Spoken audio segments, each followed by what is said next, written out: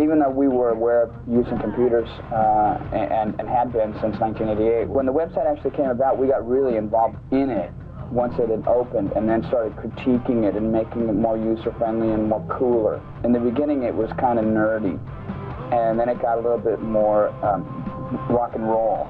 And um, one of the things that was really beat was in the beginning there was a, a guy named Shit. I mean, you may have to bleep that, but there was a guy named Shit that was running programs through the chat shop, you know, in the diner, and people tried to talk, and all it would say was just shit, shit, shit, shit, shit, shit, shit all the time. And, and I finally figured out a way to jam the program to find out what his IP address number was, and we banished the guy.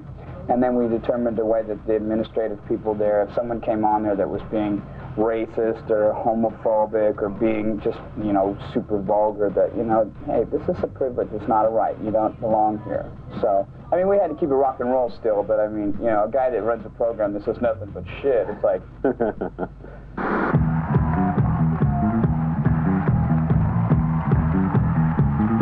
Megadeth songs are really visual. It's not, you know, talking about puppies or sitting in the field with a bumblebee girl or stuff like that. You know, it's, it's actually, there, there's a story going on. And we had uh, talked with people from Marvel Comics and from Malibu Comics, but they just didn't get Megadeth. You know, Megadeth is like, it's not something that's really hard to figure out. You just have to kind of close your eyes and run with the lyrics, and it becomes a story. And that's what happened when the guys from Chaos, when we met with them, we described what the band was about, and he goes, I know, I'm a fan. And I went, huh.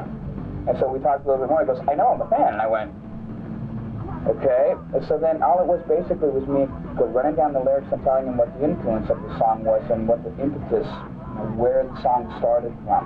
And, and that's their baby.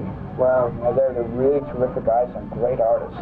When, when Dave and I first got together and we started doing this, we had a set idea what we wanted to do. And when Marty joined the band, one of the things I told him was before you do your solos, read the lyrics. And, and now it's I, am not sure how much she does that still. I don't know if you ever even did it, but point is, you know, it's like if you, if you read the lyrics, it gives you kind of a mood, you know, and, and uh, you know, they've got different takes on some of the songs than from where I came from, but at least, you know, it's, it's a different perspective, and, and know, to each his own. Great. Now, I heard uh, Volume 1 sold out. What we're hoping is that Jersey. This guy likes Megadeth. If probably stamped it clear, go ahead. So I got behind Marty and we breezed right through. you got stopped. I got stopped. so like when you're in good with the officials like that, I guess that's that's a good definition of success. Honey, I've got something for you. What is it? Oh, honey, it's Megadeth. the Essential Megadeth three of their best albums now on sale. Rust in Peace, Peace Sells the who's Buying, and Countdown to Extinction.